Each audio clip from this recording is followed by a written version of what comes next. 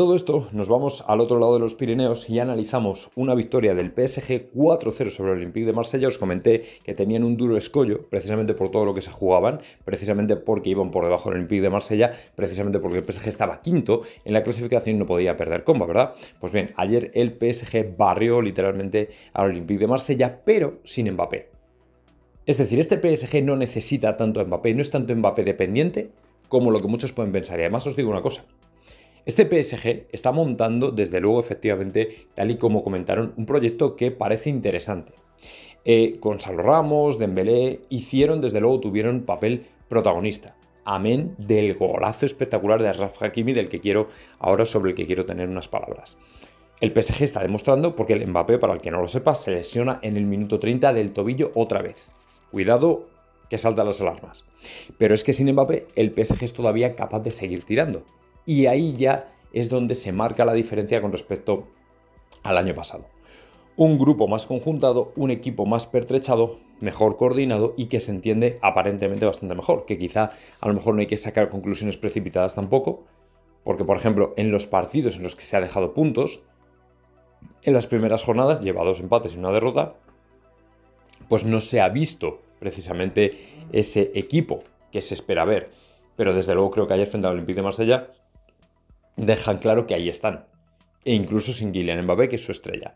Entonces, cuidado porque a mí las sensaciones que me dejó este partido, por lo que he podido ver en, los highlights, no, evidentemente no vi el partido, lo que he podido leer, las crónicas de Andrés Rubia, pues creo que hay que estar muy al loro de este Paris Saint Germain, ¿vale?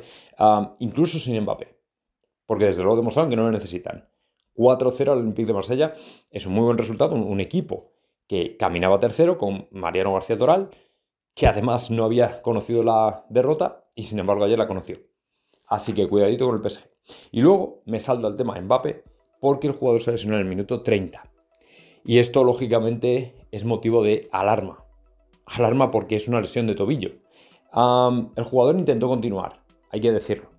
Pero parece que, no sé, supongo que por precaución se prefirió que no siguiera. Que no siguiera, que no estuviera en el equipo.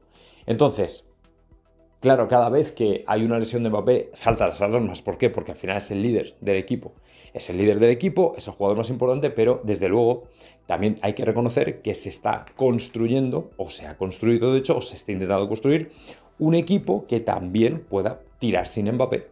Porque la Mbappé dependencia que podrían tener los jugadores o el equipo entero, la institución entera del Paris Saint Germain no era sana. Y sin embargo creo que efectivamente ahora están pertrechando, como digo, un grupo de jugadores que son suficientes o lo suficientemente buenos o lo suficientemente bien coordinados como para sacar partidos como el de ayer adelante. El partido de ayer, aunque no lo creáis, a pesar del resultado, era un partido complejo. Sobre todo porque se venía después de una semana quitando el partido de Champions 2-0 frente al Dortmund, se venía pues con dudas con dudas, ¿me entendéis? Entonces, si encima en el minuto 30 te quitas a Mbappé o no puedes contar con Mbappé y tienes otro problema gordo, ¿entendéis? Pero no, efectivamente el PSG fue capaz de solventar, fue capaz de hacerlo bien y fue capaz de sacarlo adelante. Y bueno, pues en este sentido hay que ah, reconocer, por un lado, el empeño de Mbappé sobre el que IFI en que se quitara a determinados jugadores para traer a otros y por otro lado, bueno, pues la capacidad de la IFI de escuchar y de intentar traer efectivamente a jugadores del perfil de Gonzalo Ramos, que me parece que fue uno de los que marcó, si no recuerdo mal, a pase de Dembélé y, bueno, pues por supuesto Dembélé y a Rafa Hakimi que está espectacular, como comentaba Anderson Rubia, lo que está sacando el Luis Enrique de él.